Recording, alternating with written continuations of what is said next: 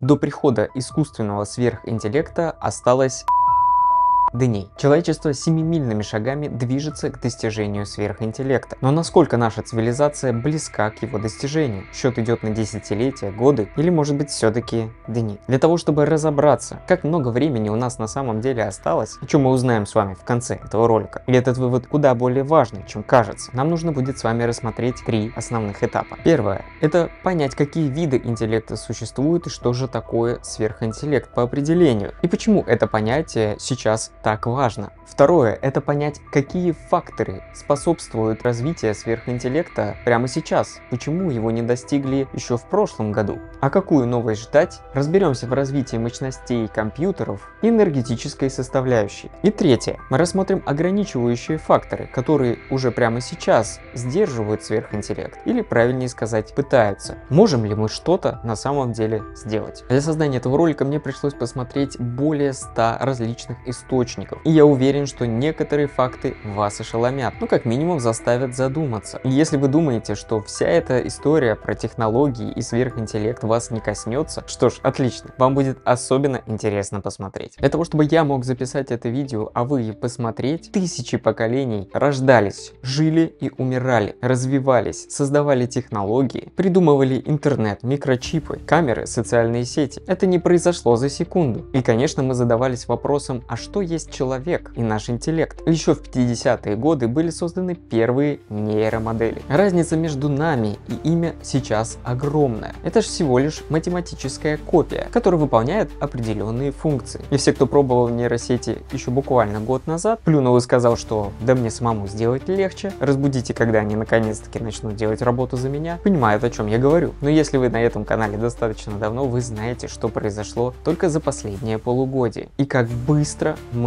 движемся. Чтобы разобраться, что есть сверхинтеллект, давайте определим, какие виды интеллекта человечество сейчас определяет, а заодно и на каком мы этапе. Принято разделять три вида интеллекта. Artificial Narrow Intelligence, ANI, или так называемый узкий интеллект. Это то, где мы сейчас находимся. Нейросети, которые могут выполнять лишь определенные функции. За ним следует AGI, Artificial General Intelligence, и мы сильно приблизились к нему с появлением O1 модели от OpenAI, которая уже сейчас показывает знания выше докторов наук по очень многим областям знаний. И, конечно же, ASI, Artificial Super Intelligence. Это сверхинтеллект, интеллект, превосходящий человеческий разум. Остановимся на каждом чуть-чуть подробнее. ANI – искусственный узкий интеллект, часто называемый слабый ИИ. Этот ИИ уже внедрен в нашу повседневную жизнь. Его можно описать так. Эйна это сверхчеловек, способный решать конкретные отдельные задачи. Многие из вас уже ежедневно взаимодействуют с ИИ. Вспомните разговор с Siri, Алисой на своих смарт-устройствах или распознавание лиц при открытии телефона. А также вы видите его последствия каждый раз, кликая на рекламу. AGI означает, что машина будет способна понимать мир так же хорошо, как и человек. В общих чертах AGI должен стать вторым мозгом и собеседником, который всегда под рукой. Это стадия развития интеллекта,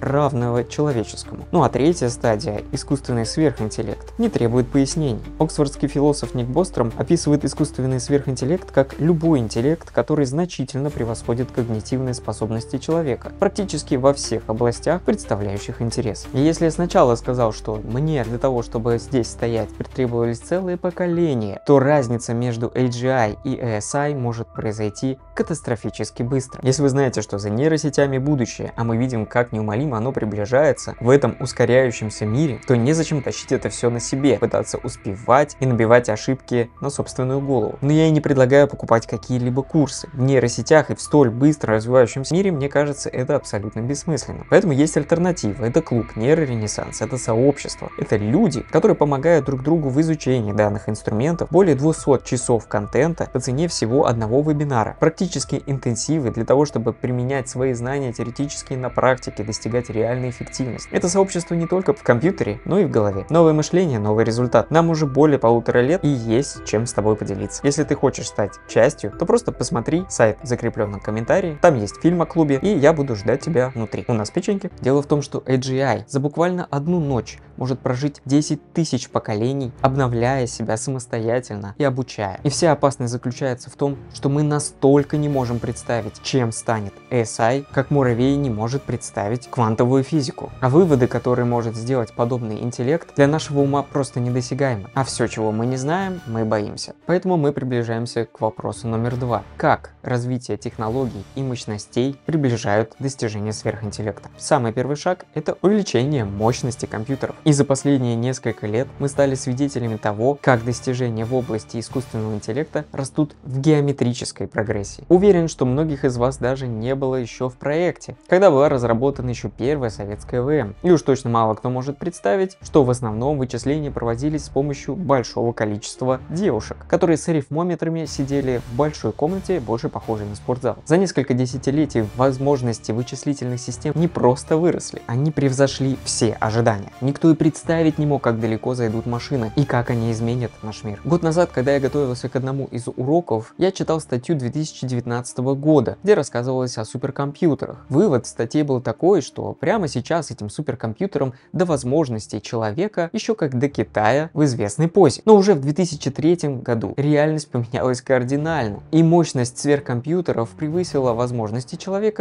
в 200 раз. Для отслеживания развития суперкомпьютеров есть некий рейтинг топ топ-500, где мы можем видеть, насколько быстро развивается вычислительная мощность в течение времени, какие страны обладают самым большим количеством суперкомпьютеров, а также рейтинг самых быстрых компьютеров. Только обратите внимание на количество петафлопсов у Frontier 1714. А суперкомпьютеры, такие как Summit, способны выполнять до 200 петафлопс вычислений в секунду, и Fugaku способны достигать более 442 петафлопс, стали мощными инструментами для решений сложнейших научных задач, климатических проблем и даже создания новых лекарств. Поясню, скорость вычисления измеряется петафлопсами. Это означает, что в одну секунду машина осуществляет количество операций, равных 15-значному числу. Я боюсь даже выговорить это число нереально. И вот мы все понимаем, что суперкомпьютеры когда-нибудь станут возможной причиной нашего уничтожения.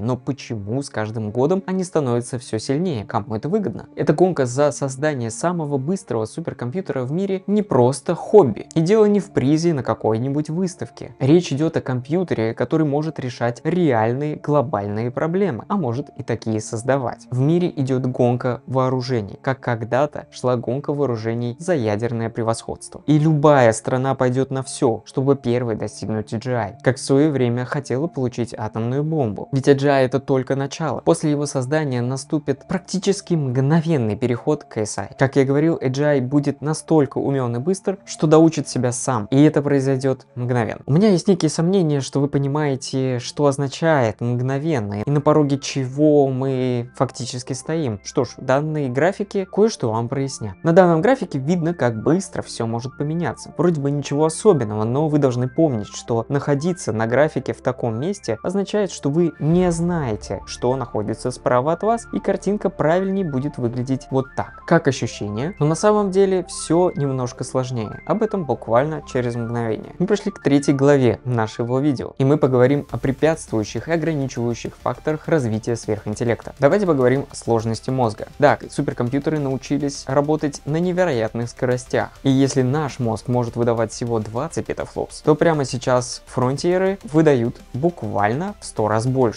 Значит ли это, что они в 100 раз нас умнее и уже могут вырваться наружу? Не все так просто. Мощность, которая требуется нашему мозгу на подобную вычислительную способность, составляет всего 20 Вт. Для сравнения, ваш компьютер использует в среднем от 50 до киловатта, а мощность, которая требуется фронтиру для выхода на подобные пиковые значения, составляет 22,8 мегаватта, что на 10 в шестой степени больше. Можете представить, насколько это потрясающий и просто удивительный механизм, расположенный у каждого у нас в черепной коробке коробки, способные отправлять ракеты в космос, создавать симфонии, конструировать здания, которые буквально упираются в небо, и при этом расходовать всего 20 ватт. И несмотря на то, что самые сложные в мире ИИ на данный момент творят невероятные подвиги, ну хотите верьте, хотите нет, содержимое нашей черепушки все еще остается самым удивительным творением вселенной. Ну, если, конечно, никого там по совершении нет. Но с учетом учетом того, что рост мощности и энергоемкости данных компьютеров идет по экспоненте, достижение такого же уровня становится неизбежным. Вот с одной стороны, искусственный интеллект при всей его потрясающей возможности мыслить и решать вопросы должно стать решением всех проблем человечества. Нехватка ресурсов, путешествия в космос, болезни, экологические проблемы, голод, депрессия. Но почему тогда Илон Маск в Твиттере написал, что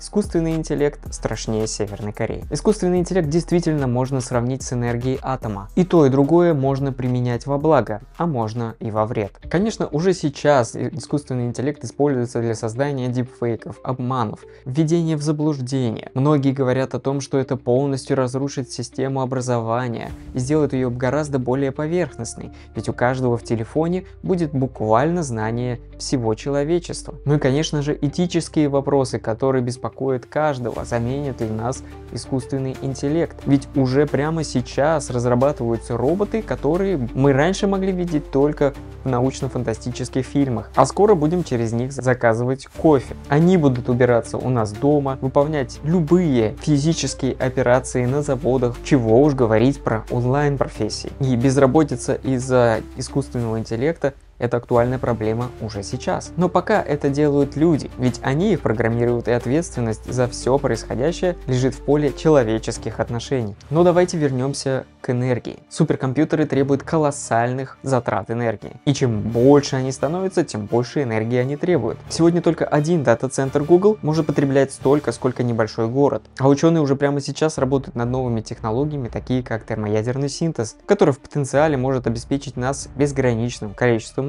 И такие проекты мы уже знаем, например, ITER. Это международный термоядерный реактор, который должен уже со в следующем году запуститься. И по расчетам ученых должен стать бесконечным, безлимитным источником энергии для человечества. Но что произойдет, если решение не будет найдено? Что если энергетический кризис доконает нас раньше? Мы достигнем своего пика и не сможем поддерживать суперкомпьютеры и их дальнейшее развитие. Ученые доказали, что сдерживание сверхинтеллекта невычислимая задача. Несмотря на то, что есть ограничивающие факторы к созданию суперинтеллекта, прогресс идет по своим законам. Мы интуитивно думаем линейным образом, хотя должны бы экспоненциальным. Развитие компьютерной техники, как и движение человека по истории, растет по экспоненте. На графике вы видите человеческий прогресс в зависимости от времени. И мы с вами находимся вот тут. И этот график показывает, как на самом деле распределяются сейчас люди в ожидании будущего. Есть траектория, которая основана на наших темпах в прошлом. И я часто вижу по комментариям, что люди достаточно справедливо говорят, а почему же мы тогда не летаем?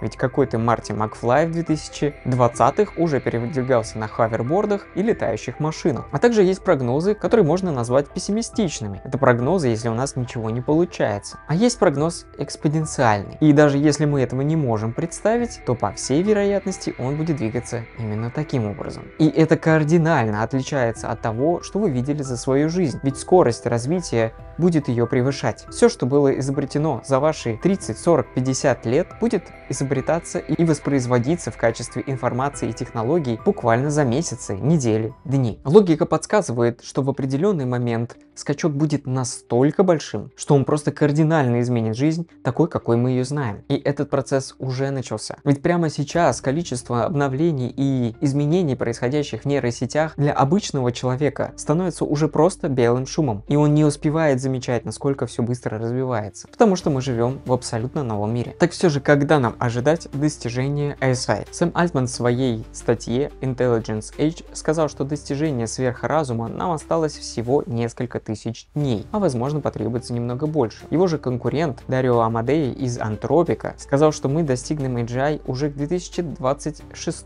или 2007 году. Это сотни дней, даже не пятилетка. Основатель SingularityNet Бент Герцель считает, что существует появление AGI уже к 2027 году. Но конечно же полно мнений, в котором AGI может достигнуть быть только в 2045 году. И конечно же это прогнозы. Такие же прогнозы, как будет ли сегодня дождь или нет. А мы знаем, что они частенько бывают ошибаются. Прогресс уже не остановить, и он как джин, вышедший из бутылки. Обратно его не вернуть, и лучшее, что можно сделать, это его выгодно использовать. И человечество прямо сейчас, и ты, дорогой мой зритель, стоишь перед выбором, как провести эти ближайшие тысячи, а возможно и всего лишь сотни дней. Развиваясь экспоненциально с ИИ, или отказаться и консервативно блокировать подобные развития событий и технологий, идущих вместе с ним. Ну и, конечно же, не выбирать тоже выбор. Какую роль мы выберем, зависит только от нас. Какую жизнь проживем, зависит только от нас. Ведь наш AGI уже достигнут, и мы каждый носим его с собой каждый день. Вопрос только, как мы им будем распоряжаться. Поэтому помните, что сколько бы ни осталось до достижения ASI, все эти дни ваши, сделайте их по-настоящему счастливыми. Огромная благодарность всем тем, кто досмотрел до данного момента.